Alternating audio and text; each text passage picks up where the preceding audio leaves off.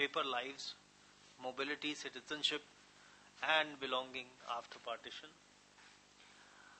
We have uh, with us for this lecture today Dr. Haimanti Roy, an old friend.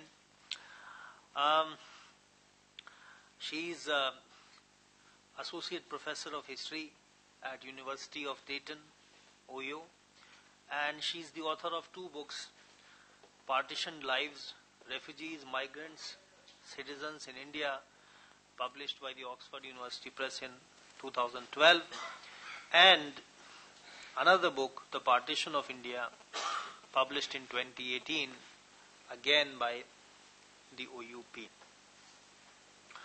Uh, the topic on which uh, she is speaking today is, of course, very, very important and uh, also very interesting. She has done her major work on the partition, and the lecture that she is going to deliver today is a kind of subtopic of the partition. One of the things that emanates from uh, the partition, of course, it has other uh, dimensions as well. she is going to talk about uh, how uh, the passport in the case of India-Pakistan relationship gradually came to mean so much and it has so many implications for citizenship, for uh, people's rights, for their identity, and so on and so forth. As we are aware that uh, passports and uh, many other documentations which are used for identifying citizens for international travel, they are a relatively modern phenomenon. And in the pre-modern societies, you, we rarely had these kind of documents and people were allowed to move relatively freely. But once the modern state uh, came to acquire rigid boundaries, obviously the need for identifying who were the citizens and who were not the citizens and what kind of controls should be exercised over non-citizens entering uh, your territory became more and more rigid. In the case of India, Pakistan, which were uh, before 15th August 1947 one country, these uh, acquired uh, another dimension as well because of the of the history of the manner in which the partition took place and the violence, massive violence that happened at the time of partition, and then uh, hostilities and acrimony between India and Pakistan made uh, the question of identity, documentations, etc., all the more important. So, uh, this is what makes uh, the talk by Haimanti Roy all the more interesting. So, uh, without taking any further time, uh, may I now request Haimanti to uh, deliver her lecture.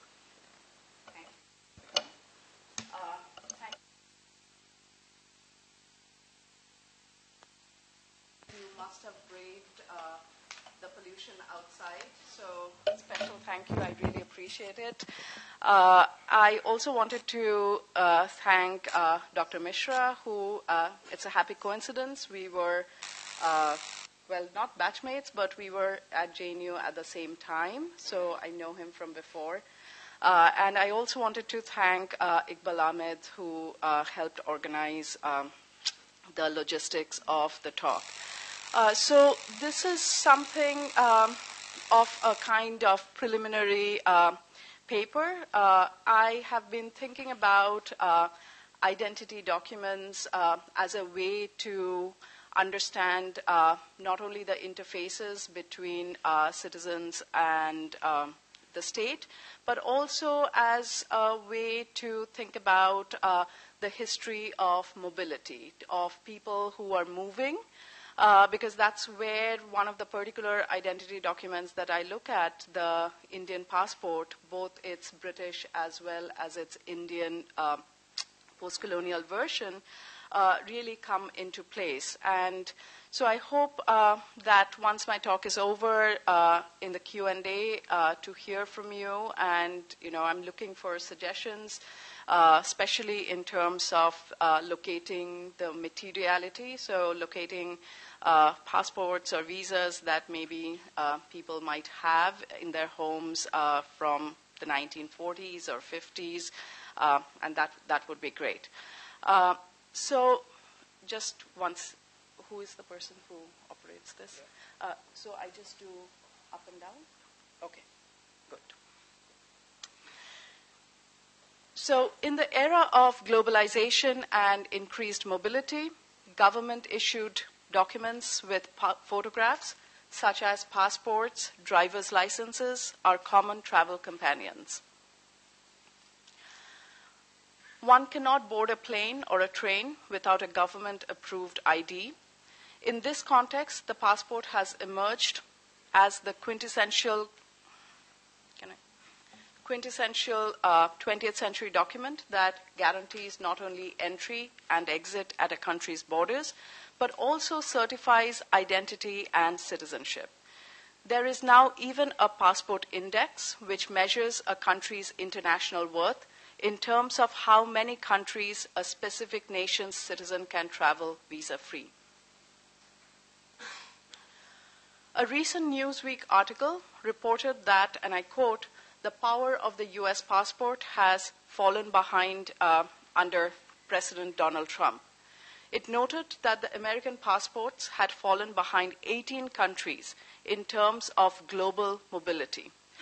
And global mobility is judged by how many countries uh, allow holders to visit without applying for a visa.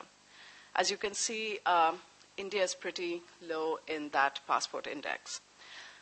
The US has now tied for the sixth place with Ireland, Canada, and Malaysia. In recent years, Prime Minister Modi has often declared uh, that the Indian passport is a token of pride, and that now, and I quote, the world looks at those with the Indian passport with respect, end quote. And this is primarily um, in speeches that he has given to overseas citizens in uh, Western nations like the UK and the US. The passport as an artifact, its very materiality, is also central to contemporary debates on national sovereignty. The Conservatives in the UK have promised that the British passport would return to its original dark blue and gold color from the EU imposed burgundy model. As Brandon Lewis, the current immigration minister, noted, this return would, and I quote, restore our national identity and forge a new path for ourselves in the world, end quote.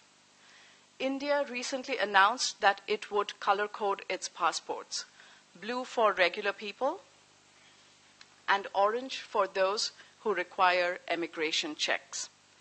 The latter is supposedly to protect vulnerable Indian laborers abroad.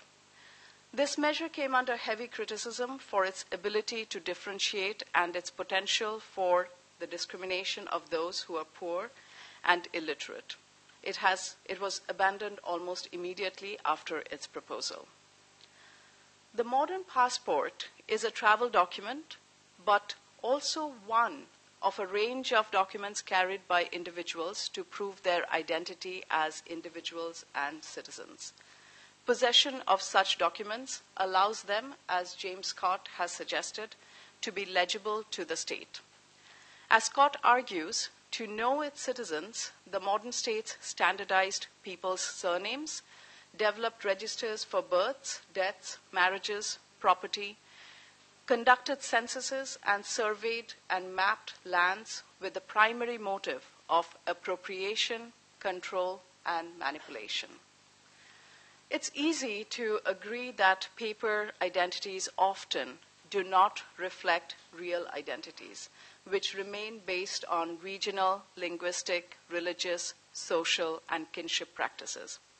On the other hand, it's hard to get away from the promise of documentary identification. They have the potential to be emancipatory. In their efforts to recognize their citizens, they can be enabling and confer rights such as rights to vote, rights to property, and on those who can procure such documents. In today's talk, I hope to examine this tension between the promise of and the denial of documentary identification after 1947 through a focus of the emergence of the Indian passport, specifically the Indo-Pak passport. This document, which began its life in October of 1952, became central to the debates on Muslim citizenship in India and Pakistan at a time when such issues were in flux. The Indian passport and visa scheme produced a range of documents that managed the mobility of a far diverse group of Indians than just Muslims and of partition refugees. The Indo Pak passport scheme, in conjunction with the Foreigners Registration Act of 1946 and the Citizenship of India Bill 1955, and here I only refer to the citizenship by registration and naturalization. Uh, these three acts led to the emergence of a particular documentary regime that produced a range of documents such as passports, long term and short term visas, emergency certificates, and naturalization certificates, etc. This documentary regime allowed the Indian state to establish its newly minted authority to its mobile citizens and simultaneously established itself as distinct from its colonial predecessor. Moreover, beyond partition migrants, it was the paper lives of the routinely mobile groups, such as married women, minorities, and overseas Indians, that led to significant understandings and policy changes on citizenship and belonging. For the purposes of this talk, I'll restrict myself to the first two categories. I've discussed elsewhere that such paper regimes are not new, but borrowed heavily. Is there a problem? It, can that be? That's okay. So I've discussed elsewhere that paper regimes were not new, but borrowed heavily from colonial antecedents in British India. After 1947, the British Indian passport was renamed the Commonwealth passport, which marked its holders as British subjects. By July of 1948, India had drafted a new Indian passport, which had two fundamental changes. The description now read India instead of Empire of India, and the head of state was noted as Rashtrapati in Hindi and President in English instead of Governor General of India. The Indian passport was also no longer going to be printed in French. There was a cautionary warning from the officials in the Constituent Assembly. I, I quote The term India cannot, however, be treated as final, even though it has appeared on the passport, until the Constituent Assembly itself has adopted it. End quote. Until then, no definition of nationality or citizenship could be associated with the Indian passport. This document controlled international movement, but special permits controlled the mobility between Portuguese and French territories within India.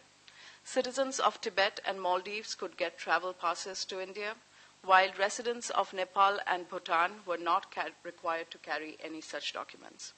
Kashmiris traveling from Pakistan to their hometowns were required to obtain special permits. Pilgrim passes continued to govern the travel of those Indians who wanted to make the Hajj pilgrimage.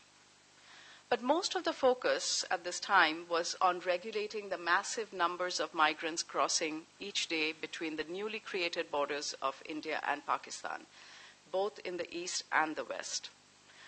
Both countries quickly developed specific sets of documents to regulate these movements.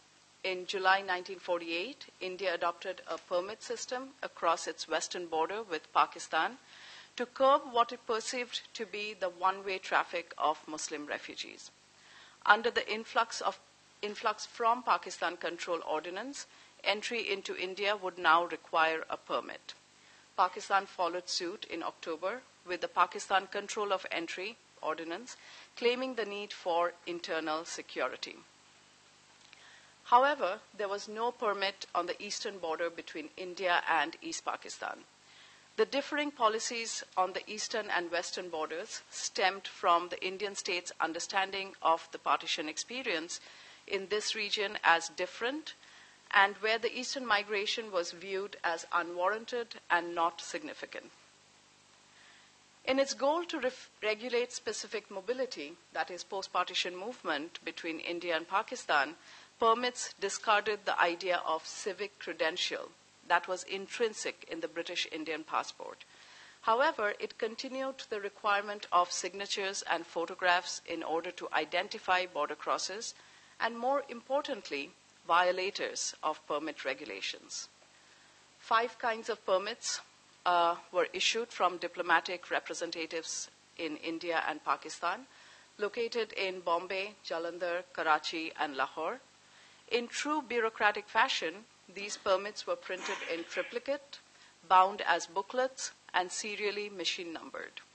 One copy was housed with the issuing authority, another with the superintendent of police at the destination, and the third was given to the border crosser. Both states thus quickly unrolled what was to be an efficient documentary system of regulating migrants.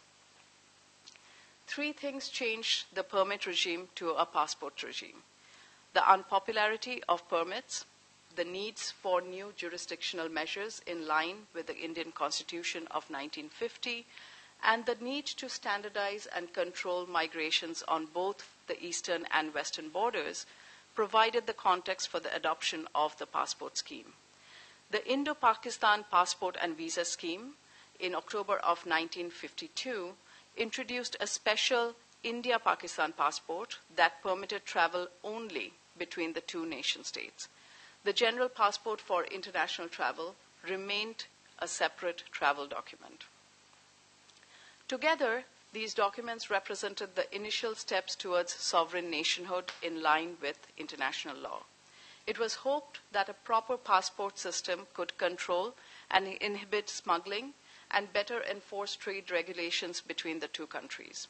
However, popular understanding saw them as a singular stopgap measure to curb the ongoing migration of Hindu Bengalis from East Pakistan to India. A cartoon, which appeared one day before the start of the scheme, showed Nehru drowning in water, marked growing West Bengal population, while he valiantly tried to stop more water that is, migrants, from pouring through the border wall with a tiny stopper, which is obviously ineffectual, marked passport. And the person you see across the world, uh, wall is Khwaja Nazimuddin, who's basically saying, just, just one, more, one more month, and then we can enforce this uh, paper wall. From the perspective of Indian officials, routine and hitherto free mobility now came under the scheme's requirement for documenting it. For example, cultivators and petty traders who lived in the borderland, and at this time the borderland was defined as 10 miles on either side of the India Pakistan border, these borderland citizens were now required to possess an F visa to pursue their livelihoods in this region.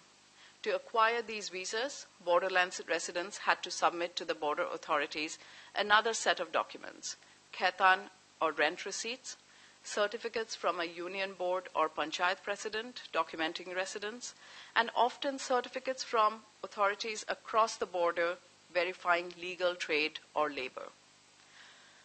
These F visas were valid for five years and, or until the expiry of the holder's passport, at which time the visa holder had to return to the local authorities for renewal.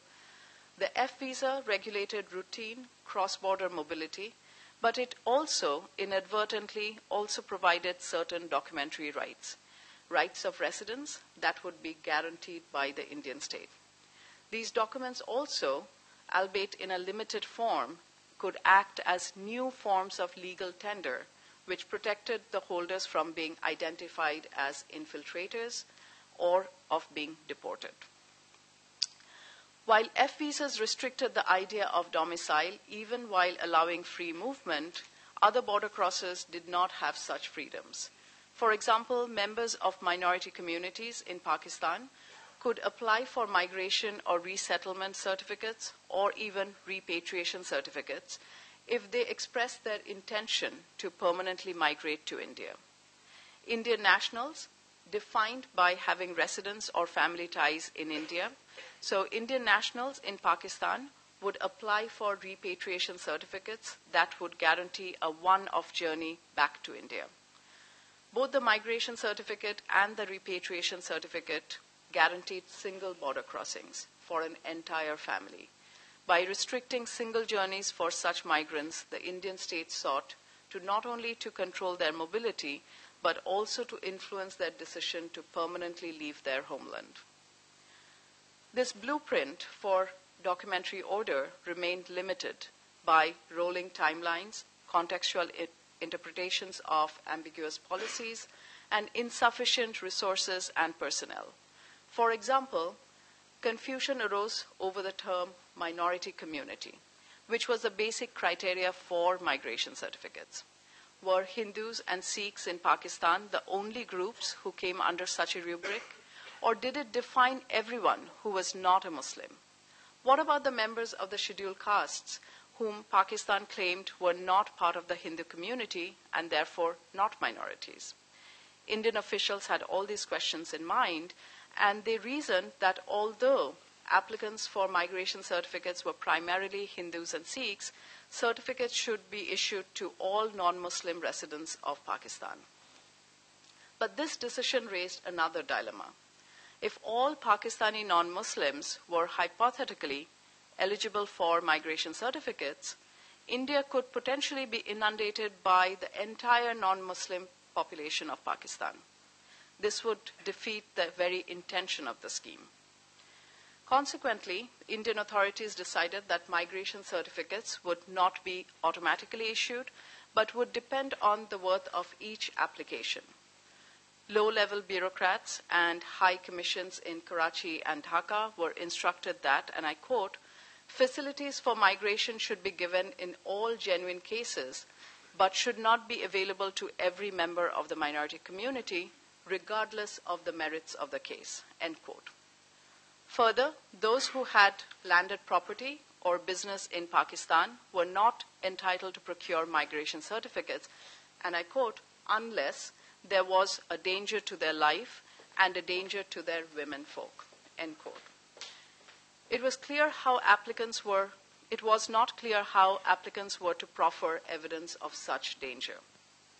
What was clear was that India's humanitarian claims had to defer to the economic imperatives of limiting refugee and migrant populations. But what I've also tried to kind of move away from is this kind of understanding that partition migration and uh, the start of the Indo-Pak passport is the only way to kind of understand the policies uh, on not only the control of mobility but also uh, the policies on how citizenship gets defined. So I want to move on to kind of looking at some individual cases to see how uh, we can kind of shift away a little bit from the partition. Determining the nationality of those seeking to enter and exit the new territories was central to the Indian state's project of implementing its political and bureaucratic power to its new populations. The concerns regarding partition migrants spilled over even to those whose movement had little to do with the event. Here, I would like to focus on a few cases that were not engendered by the events of 1947 in order to move away from these kind of large scale arguments, uh, large scale migrations, and arguments of governmentality. So let me begin with the story of one Dr. Kanwar Muhammad Ashraf. Ashraf was a well known historian, author, left political activist, and he had been in London for two years in the sum- and in the summer of 1950 applied to the Indian authorities there for permission to travel across to Europe and then permission to return home to Aligarh. In the process, he suddenly found out that he was actually a national without a nation. Was he an Indian or a Pakistani? As far as the Indian officials were concerned, he was partly to blame. He had traveled from India to Pakistan in early 1948, had gotten himself arrested in Pakistan, ostensibly for his communist activities, and then exited Pakistan for London. All he had with him was an emergency certificate issued by Pakistani authorities. As the bureaucrats at the Ministry of External Affairs and the Ministry of Home Affairs scrambled into action, their primary concerns were twofold.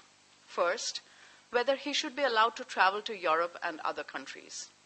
Officials feared that as a well known communist, his tours would his tours would surely lead to anti national speeches and activities detrimental to the political image of the new nation.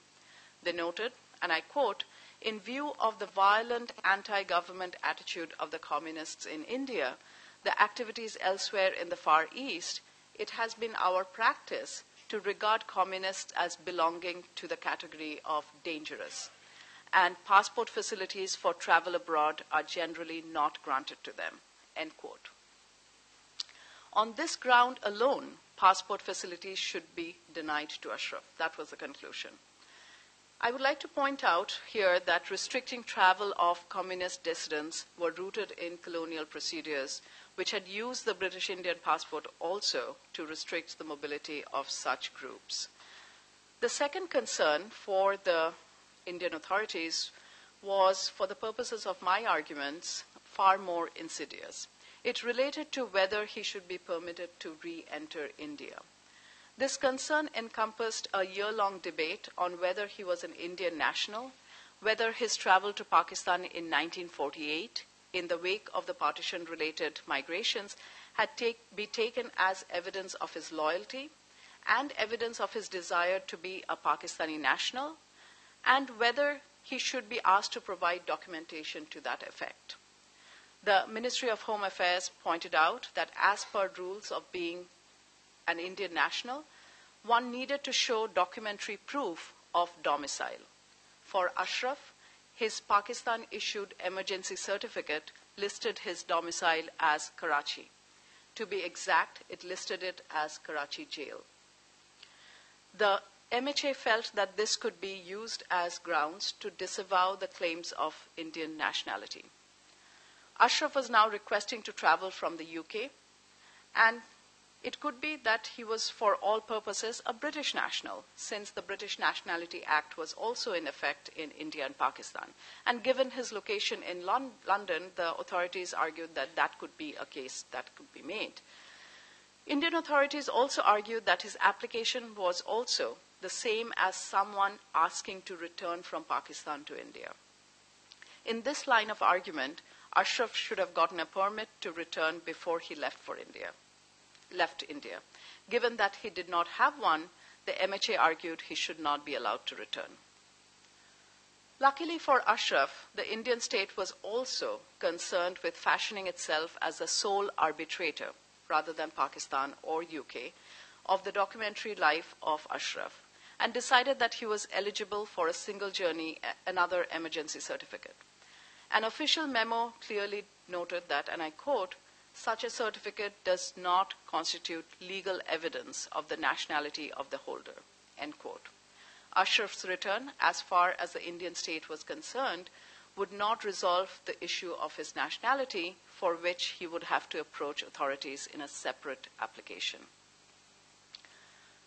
Issues of nationality remained complicated by another group of Indians married women especially those who were mobile and hoped to travel internationally. Until 1958, although there was no constitutional restriction, the issue of women's citizenship after marriage became key in the framing of different directives in travel documents between India and Pakistan. The legal norm till that point had been to use the clause of domicile. Domicile here means residence.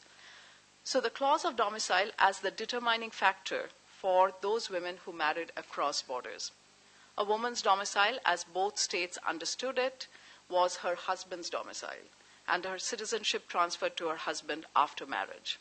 Thus, Indian women who married Pakistani citizens were deemed to have acquired Pakistani citizenship after marriage, and vice versa.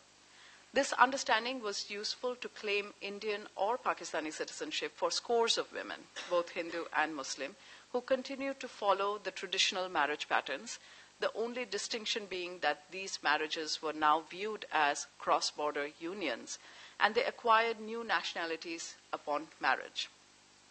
However, there were some who questioned such seamless and gendered transitions.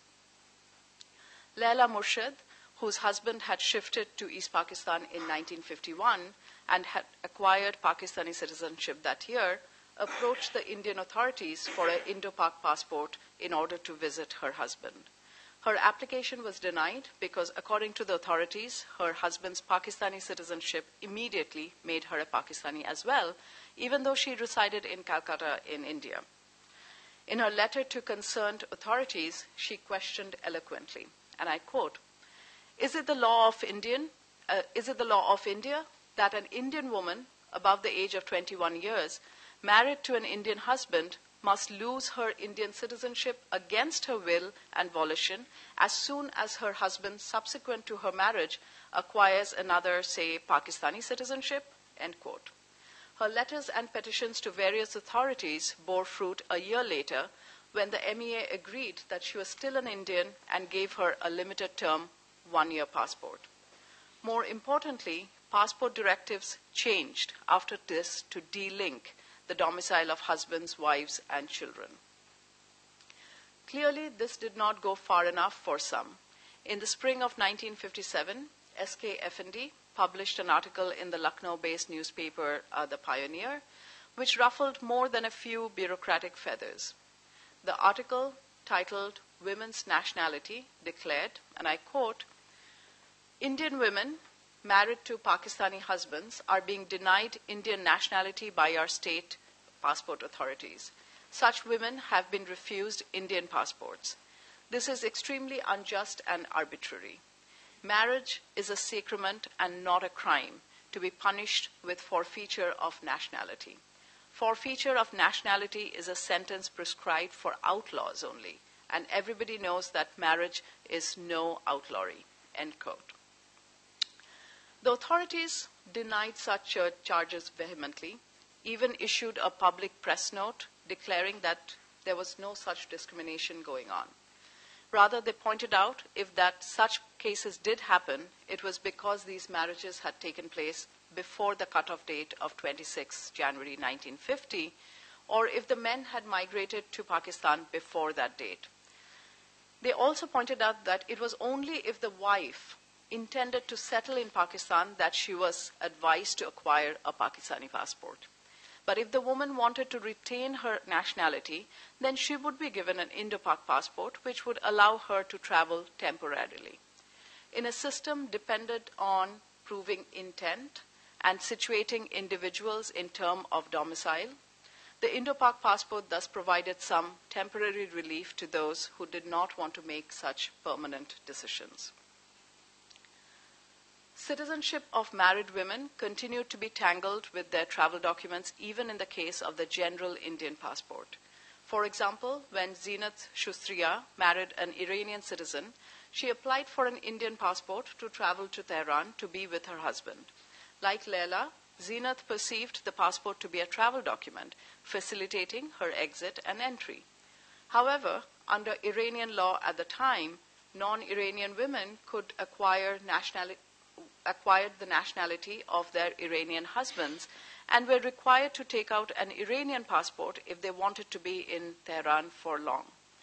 The problem that Zeenat faced was a clause in the Indian constitution which declared that anyone voluntarily acquiring the passport of a foreign nation would lose all claims to Indian citizenship.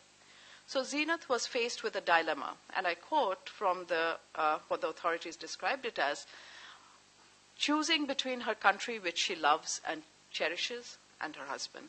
End quote.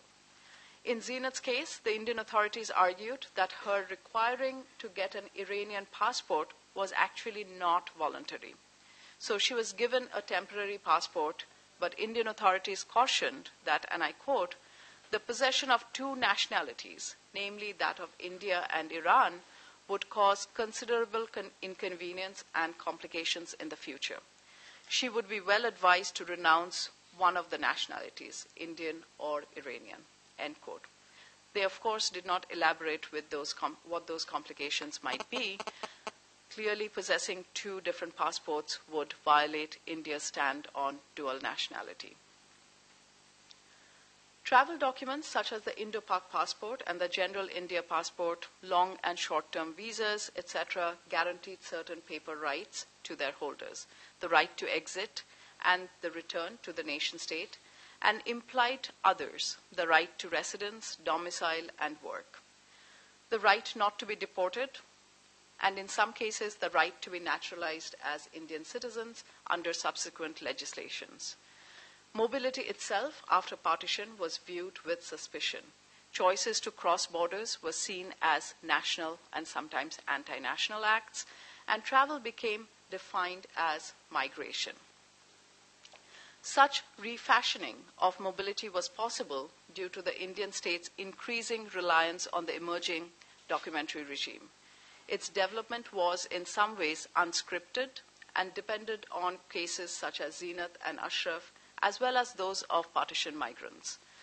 The implementation of the passport and visa scheme, I would argue, generated an increasing demand for documentation that would attest to the mobility, residence, and domicile of these individuals. For example, the Delhi authorities complained in 1952 uh, that some applicants for the Indo-Pak passport had often, quote unquote, migrated to Pakistan, but such applicants were now contesting official versions saying that these uh, accusations of migration were false. This was primarily, according to the Delhi authorities, was due to the absence of documentary evidence. What could be such paper evidence certifying such journeys, which could be proven simply as travel rather than as acts of migration? Permits, Passports, visas, according to the MHA, could be the baseline evidence for such migration, as could be witness statements from friends and families of the applicants. In 1959, an MHA bureaucrat declared just as the police cannot make allegations without reasonable grounds, the mere denial without supporting evidence by the alleged migrants cannot be accepted they should be able to give details of the places where they had resided during the alleged period of migration, which can, can be got verified through local inhabitants and other witnesses who know them. End quote. For the state, intent on proving that travel was actually migration, which by implication meant that the traveler intended to become a citizen of another country, mostly Pakistani, and thereby not belong to India, the traveler was equally held responsible to prove both his intent and his action. Such proof for the authorities was almost always documentary. In essence, passports and visas introduced a new notion of documentary identity in a relatively paperless and non literate society. The booklet guaranteed the right to return to India and consequently implied inclusion within the nation state. Passport identities quickly became nationalized identities and proofs of national allegiance. Non ownership of these papers or unsuccessful applications for the Indian passport exposed a person to the possibility of being officially marked as an infiltrator or a Pakistani national, and often both. It also exposed one to the possibility of deportation and, incar- and incarceration. Those denied an Indian passport would then have to acquire a passport of a different country and thereby voluntarily give up the claims towards Indian citizenship. In India, the passport is one of a range of documents that guarantees mobility, but also performs slightly different functions when they are used to restrict rather than permit mobility. Such restrictions are often mediated through pieces of paper, such as curfew passes or border slips. For example, in Kashmir today, the Indian state has been using the former curfew passes to regulate the movement of Kashmiris in terms of where and when they can move. These passes also allow the Indian state to be visible to their citizens by curbing the freedom of movement, which is guaranteed by Article 19 of the Constitution, barring special conditions, these passes acquire distinct meanings of citizenship and belonging for their holders. We are at a different point in the nation's history when travel documents, such as the Overseas Citizenship Card, can be used as a tool to restrict the free press, and the National Register of Citizens can document the difference between citizen and migrant through the possession of particular documents, some of which were created after the partition. Such efforts have produced, as Arjun Appadurai has recently called, a statizen. A statizen is one whose citizenship is, exists only through state sanctioned documents and certificates. As India's tryst with documentary identity continues to increase manifold thanks to the Aadhaar scheme, the rhetoric here and globally has been one of inclusion, efficiency, and equal access via single ID cards. However, the history of the Indo-Pak passport tells us something different. When it comes to mobility and their regulation, the passport remained contextual and its access unequal, impacting particular groups. It was also the individual and routine travels of Ashraf, Laila, and Zeenat that pushed the Indian state to rethink some of its policies and accommodate their petitions in limited ways. I doubt their applications would have received similar outcomes today. Thank you. Thank you very much, Haimanti. Um, we are now open to uh, questions and comments. Please be brief and please introduce yourself.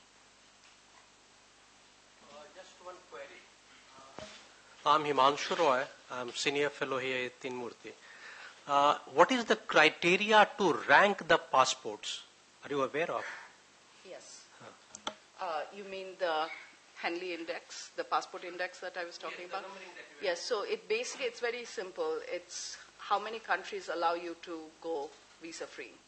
So if you have an Indian passport, there are very few countries where you can go visa free. So Indonesia is one. I think Brazil is just starting a visa free regime right now. Uh, Bolivia is another one. I don't know if you want to go there right now. Uh, but yes, so it's basically so the top passports are also actually Asian. So Singapore and Japan are the ones which are in number one uh, in the index. But India is, I think, 79. So it's basically whether you, your passport lets you go through the customs and immigration without a visa or not. Uh, Ravi Bhatia. Uh, there are two points I wanted to ask you. One, you have mentioned the types of difficulties that uh, people from Pakistan, minorities from Pakistan, uh, you know, face when coming to India. Uh, can you also elaborate about the types of problems which Indians who wanted to go to Pakistan faced in Pakistan? This was one point. The other point was, uh, I know that uh, Indian passports and people holding Indian passports could go to England probably up to 1964 without any visa. And I suppose people from Goa also could go to Portugal uh, without visa. Uh, can you tell me uh, what was the exact date when uh, this uh, condition was, uh, you know, taken away? And what was the main factor for uh, doing away with this uh, uh, this facility? The free movement. We'll take three, four questions. Without visa, without visa. Okay. Yes, more questions? I'm Geetika from NMML. Uh, thank you so much for your presentation. I was just uh, wondering that in mapping this question of mobility and uh, citizenship through the idea of documents, I was thinking if you have come across or if you're examining also the phenomena of counterfeits or duplicates or fake documents and how does how do these two histories kind of you know intertwine each other thank you any more questions? All right, uh, come, Ashutosh. Thank you. Uh, my name is Ashutosh Kumar. I am fellow here at NML. Uh, I mean, in the context of uh, citizenship problem or agency of women, I mean, do you find any difference between the elite women and the subaltern one?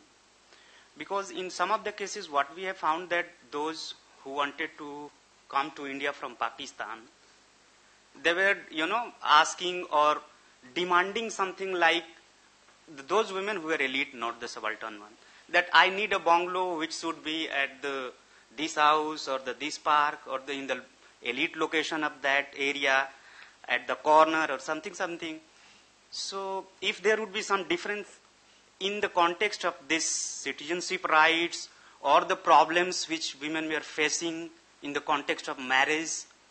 So yeah. All right. Can I just ask, so in the 1950s or now? Not now, during the partition. Yeah, Okay. 50s to. I see, I see, Yeah. okay. You can take the three questions. Answer. Yeah, answer.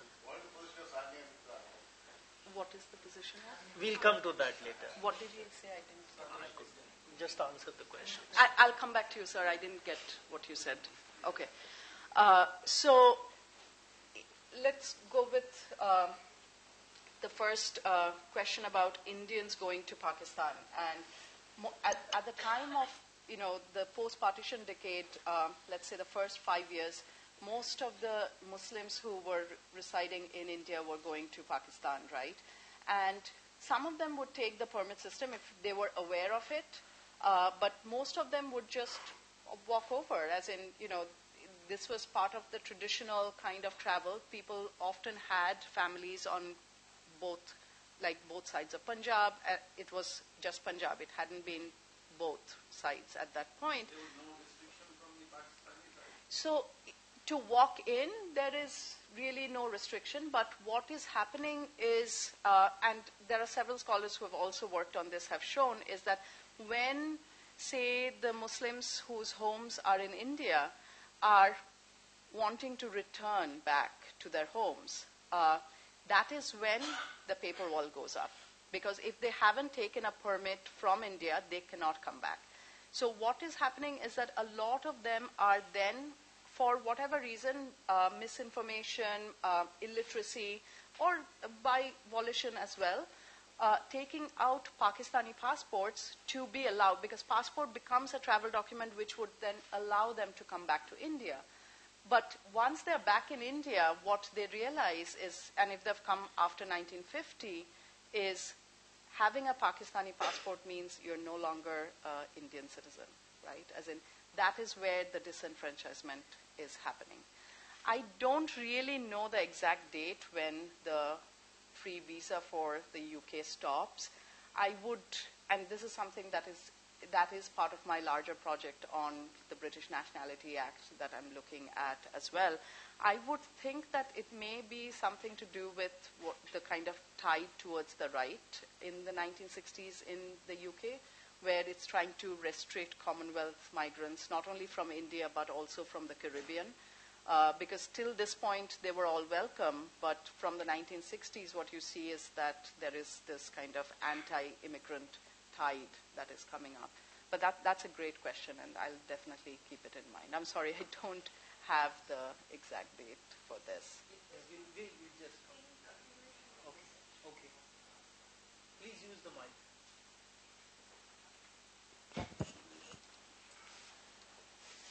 Yeah. Uh, my name is Monmoy Basu. I'm, I uh, teach in Delhi University in Hansraj College. So I just wanted to clarify. You said that um, the Pakistani nationals who were coming to India. I, I don't want to call them nationals because, as a historian at the time, they were I, so they were they were a fluid. like- uh, okay. Yes. Okay. So, um, so people who are coming from Pakistan, who have gone and staying there, and who want to come to India, they don't need a passport. They do. Is it? no, they do. Achha, they did. Yeah. Okay. So from uh, for um, they required a permit or a, a passport to it just depends- come and it go. depends on the time. So after 1952, they require a passport because the Acha. permit is invalid at that. So not before uh, 1952. No, there so is no passport. There was no passport, and uh, uh, the same thing applied to the Indians also. So Indians who were going to uh, They, they, Pakistan. they were supposed to take a permit Before- to go, go into Pakistan. Yes. So they required a permit, but the Everyone People- required a permit. permit. Right? So not- so it's- uh, think of it as exit and entry permit. To exit, Okay. once you leave India, you need a permit so that you can say, I came from India, so you can come back. Yeah. But to enter Pakistan also, you need a permit. So there's a regime going on of all kinds of documents that. Uh, I understand. it- and this is only at border checkposts. Remember, this is a Really? time when uh, checkposts are all just coming up, personnel Yes, are coming yes. up. So you Uh. could just walk over and not go through Because then so thing. many migrants were naturally coming. Yes, of yeah. course. And uh, so the problem with Ashraf was that he couldn't. Uh, it, it couldn't. Uh, they couldn't determine which country, uh, to which country he belongs. That was his problem. Yes. Whether he was a Pakistani or he was an Indian. As in, they didn't want to. Okay. They didn't want to. Of course, if he, if you define a country by your where you have your home, Yes. then it's Aligarh. so since passport at that time was not needed, just a permit, he could have come anywhere. He could He didn't have Uh, a permit. He didn't. He had nothing. If I It may was- intervene in this, Yeah. it happened in a large number of cases when India was partitioned. Many people, they initially migrated to Pakistan from India thinking that the land of our dreams, the land of the pure has been created, therefore let us migrate. But uh, within a year or two, they got disillusioned, so they wanted to come back. So sometimes they were themselves not clear about what they wanted to do, whether they wanted to be an Indian or a Pakistani. So obviously, then the official term required uh, documents, you know. So it became a problem. Anyway, I'll come to it later. Let her answer the question. To it later. We'll come to it later. I, I would qualify Ravikant's comments a little later because I'm not entirely sure that is exactly what's going on. But let's uh, go with. um there was a question on counterfeits uh, and forgeries, right? So, in terms of the history of that, I do have files which talk about forgeries. It becomes a cottage industry uh, because having access to uh, actual government issued passports or uh, long term visas is not something everyone uh, did have in terms of distance, in terms of financial wherewithal, it, and in terms of time. Sometimes you just needed something quickly, and if you did get caught, you could then produce. So there is really the it appears in the records as as again violation of the state's authority, and I I haven't come across any counterfeit. Uh, passports physically of course and if anyone has one i won't disclose and i would love to see one but it definitely existed and it was uh, the references are that there's a market for it and there's a cottage industry and primarily it, it's kind of the rhetoric is about smuggling because those those are the people who are seen as the ones who are illegitimately crossing the border and sabotaging the nation states the migrants themselves were not seen to be the ones using those it was primarily associated with smugglers uh, there was one other question yes so I am not sure I absolutely understand your question, as in you're talking about women who are coming from Pakistan demanding houses in Delhi. Uh,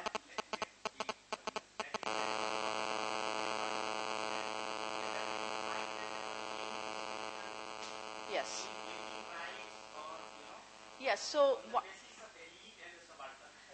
so yes, as in one of the major, as in both Zeenat and Laila are elite women, right? Laila Murshid comes from a very privileged, uh, very well-known, uh, what we call Khandani family in Calcutta. Zeenat's father was a member of parliament. So, you know, in terms of the way in which their cases went, and even the fact that she felt that she could actually question the state, right? Laila questions the state is a sign of a very different kind of location. But even then, I would say when you look at, say, the files at the Indian archives in the Indian citizenship section, there are thousands of files, right? They're very thin, and they all put, they're all about women getting citizenship, get becoming Indians, right, by marriage. And most of them will have applications with thumbprints, right, which also tells me that they are, as in, I don't know if I can use the term subaltern, but they're not elite, right? And there is a way in which I think the idea that citizenship by marriage kind of percolated down, where these applications are kind of help us kind of read against the grain to say that even subaltern women knew enough. If they wanted to gain citizenship of India or Pakistan, they, they could take this path forward. Right? Any other question or comment? Yes. Please use the mic. I think I, I am being uh, audible now. No, no, uh, just use the mic.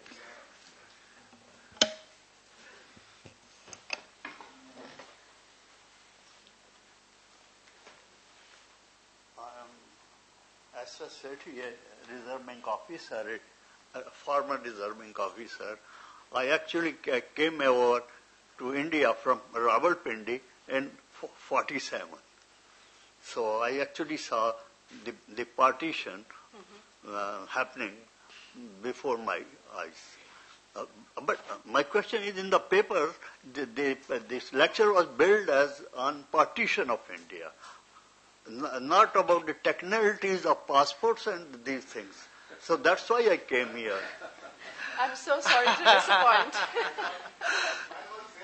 I, I thought I would be able to contribute.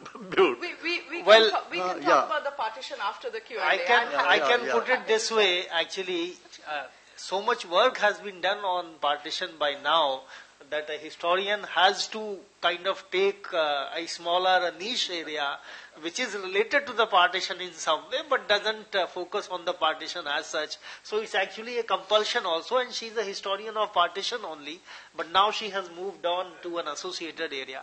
So but uh, yes, yes, of course, you know, uh, we are uh, really sorry to disappoint you. Any other question or comment? Can I ask another question? Be brief. Yeah. Yes, of course. You see, immediately after partition, a lot of people from Punjab used to come to, uh, you know, India. They crossed the borders. But uh, Sindh, people from Sindh, uh, of course, most of them came via ship, Ship, to yes. Bombay, Bombay, and uh, you know. Uh, but uh, Sindhis, uh, people from Sindh used to co- continue to come to India for several years, Yes. and there have been instances where you know they have been harassed and uh, you know etc. etc. I don't need to go into that. Can you please explain how is it that uh, they uh, people from Sindh used to come for many years to India, whereas uh, uh, migrants from uh, Punjab didn't come so often? I mean, after a certain stage, they didn't come uh, to India. So it could be part of the.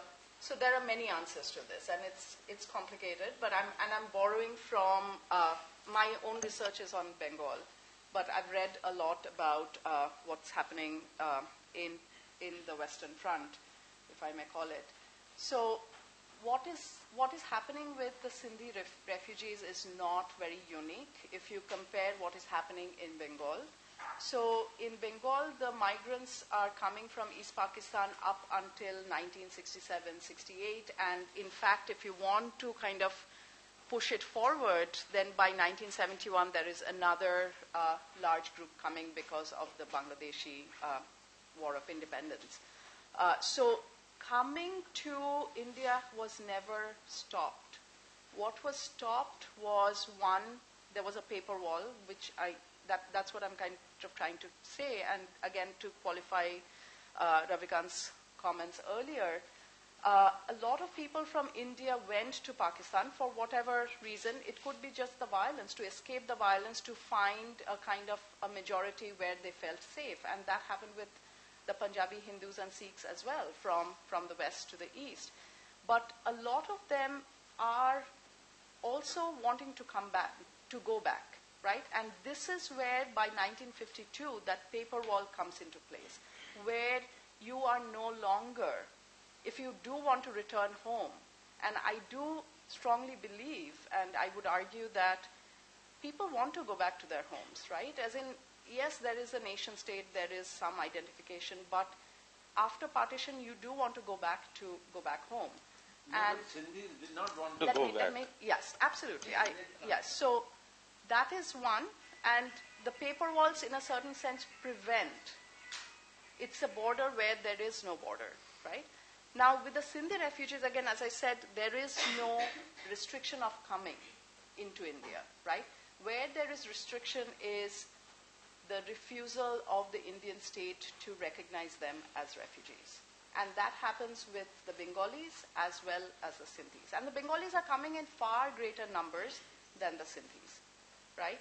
Now, why do the Punjabis not come anymore is something that it could be because most of them have already come, and there were very few compared to Sindhis. Sindhis got the violence was not as much in Karachi. Uh, there was always a connection.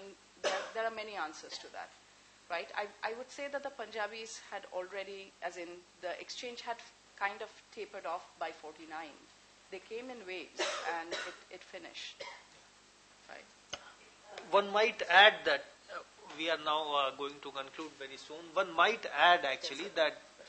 Huh? Okay, go ahead.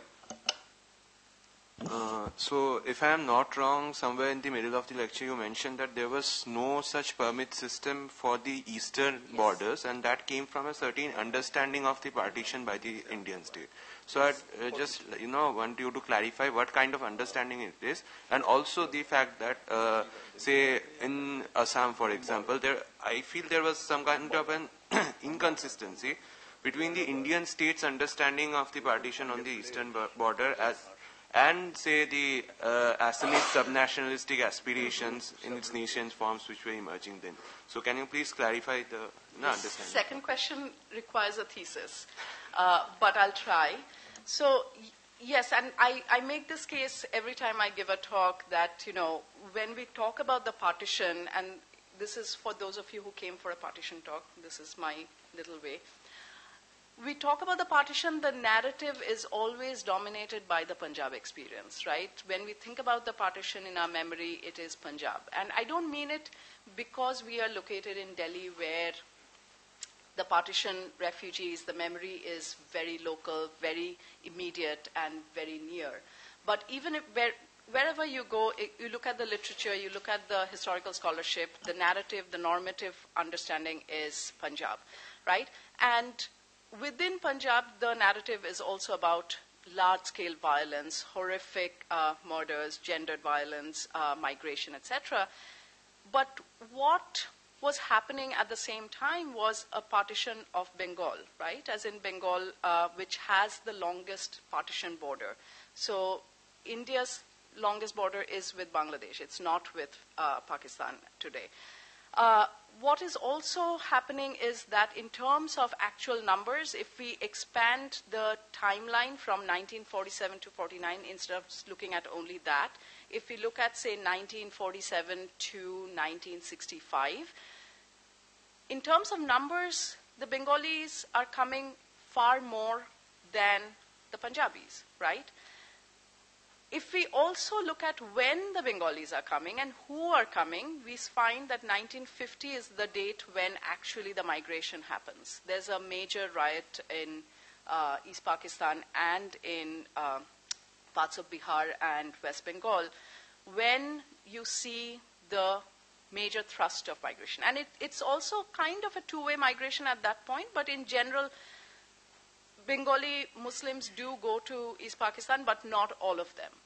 There is very little violence, though in my first book I did make the argument that there is violence, but it's different. It's routine, it's psychological, it's small scale. And the Indian state's understanding of who a partition refugee was very much linked with the idea of violence.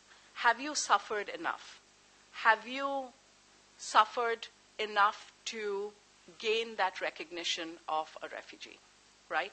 And in that, the Punjabi refugee came up as yes, and the Bengali refugee came up as no.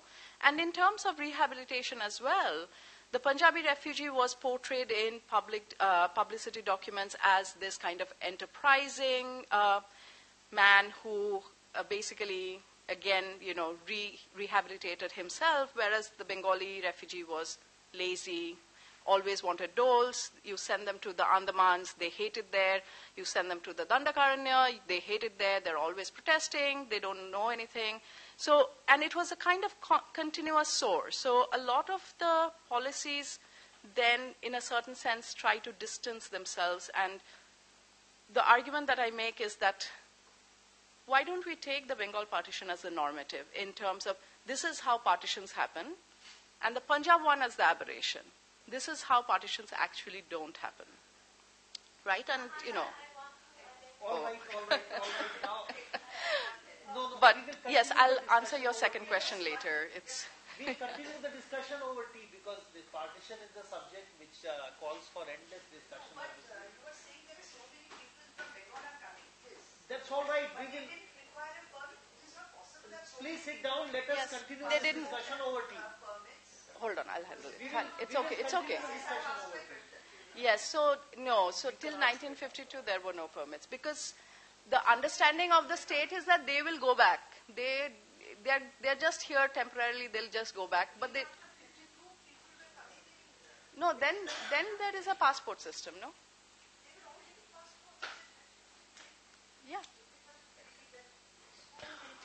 All right. Yes.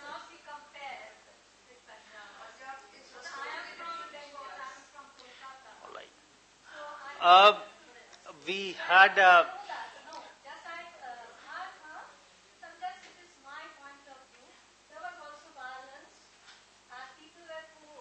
But I'm agreeing with you, ma'am. I- Yes, I'm not comparing. It's the Indian state which is doing it. I'm actually saying it should be at an equal footing, but the Indian state doesn't see it that way. Uh, thank you very much. We have had uh, a wonderful presentation and a very good discussion over uh, this subject. Uh, the discussion is, of course, likely to be endless, so we will continue uh, over tea. There are just a few small uh, points that I wish to make. Uh, the distinction that the Haimanti has noted and which we have discussed here between Bengal and Punjab partition is, of course, a very important distinction. I, for one, do not think that Punjab uh, uh, partition was an aberration. The fact that Punjab partition was taken much more seriously by the Indian state and by uh, historiography in India, it has a historical background. It was fundamentally different from Bengal partition. It was fundamentally different in one sense, I mean, as you would know, that right before the partition, there was a serious proposal to allow Bengal to remain united. And nobody in their wildest dreams had ever thought that if India and Pakistan are coming up as two separate countries, Punjab can remain united. The religious demography of Punjab was far more sharply divided. There were three distinct communities, and Muslims and Sikhs were historically heavily militarized communities. And the fact that a la- large number of people in the Indian army were recruited from the Punjab made it a militarized zone. Since it was a militarized zone, much more violence was bound